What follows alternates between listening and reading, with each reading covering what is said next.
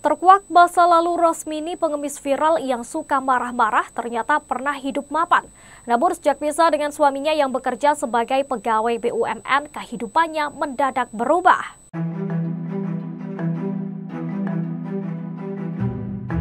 Tiga anaknya dititipkan ke rumah kakek dan neneknya, rumahnya dijual dan hidupnya menggelandang di jalanan selama 14 tahun yakni sejak 2010 silam. Wanita lanjut usia itu tercatat menjadi warga Jalan Jati Mekar RT 01 RW 05 Desa Marga Asih Kecamatan Marga Asih Kabupaten Bandung Jawa Barat yang diamankan oleh Dinas Sosial setempat. Berdasarkan keterangan Sekretaris RT 01 Supriyanto, Rusmidi merupakan warga yang menempati wilayah tersebut sejak tahun 2002, namun sudah tidak pernah terlihat sejak tahun 2010 silam.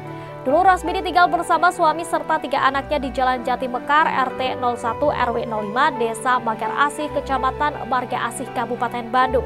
Alamat yang ada di KTP-nya tersebut merupakan alamat lama. Setelah tahun 2014 rumah yang ditinggali Rosmini dijual. Dari dulu hingga sekarang pihak keluarga Rosmini pun tak pernah meminta surat pindah dari pengurus setempat.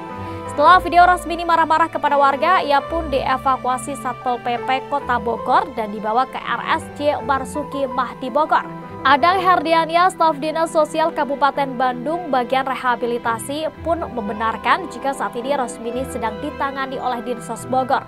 Dan berdasarkan keterangan dari Dinsos Bogor, yang bersangkutan memang mengalami gangguan jiwa sehingga harus mendapatkan penanganan. Jangan lupa follow, like, dan subscribe sosial media Tribun Jateng. Download Tribun X sekarang.